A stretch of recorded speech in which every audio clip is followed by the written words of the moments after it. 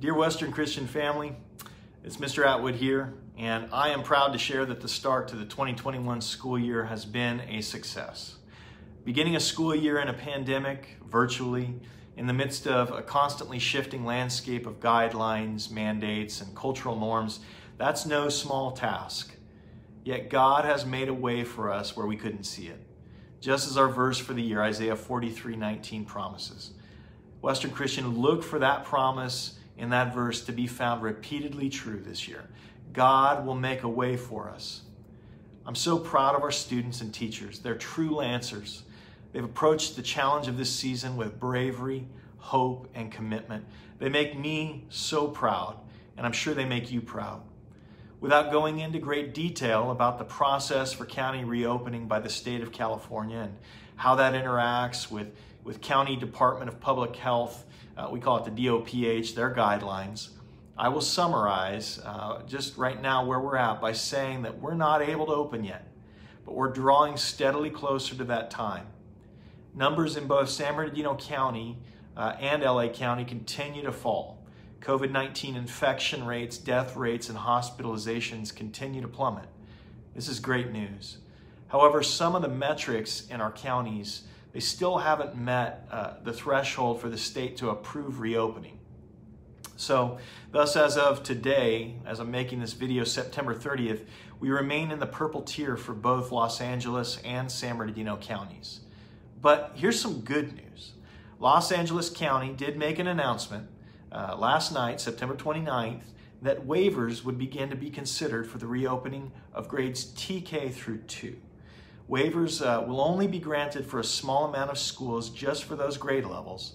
Uh, and it appears that they're going to be prioritizing, at least what we're hearing at this point, areas of low income. So we don't know what that means for us, but Western Christian will certainly be submitting our application as soon as they define the process for us and the boundaries uh, around that. We'll be communicating with you about this as soon as we know more, but it is good news. What does the, the general uh, information about reopening mean for our time frame? So we're drawing nearer to a greater reopening for both of our campuses, but again, we're not there yet. Uh, based upon the trending of virus metrics and the processes for reopening, uh, including the requirements for achieving tier movement and then lags even in data reporting to the state, Western is seeing November, early November, as a possibility. We wish for it to be sooner, but based upon what the state and county is requiring, November looks more likely. Uh, I've grown very leery of making bold pronouncements uh, to you as the state seems to change their approach the moment I send you anything. But I want uh, to, to have you be as clear as possible on the view of a return to campus uh, as best as I can. So hold loosely to this time frame, that November time frame, knowing all the while that we're passionately and consistently pursuing every angle to successfully reopening our campuses.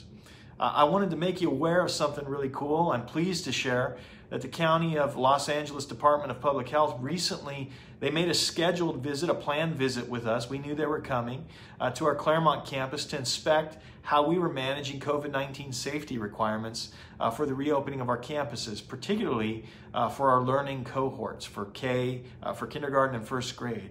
Our helpful visitor from the county shared that Western Christian is doing an excellent job and had nothing negative to report to LA County. Praise the Lord.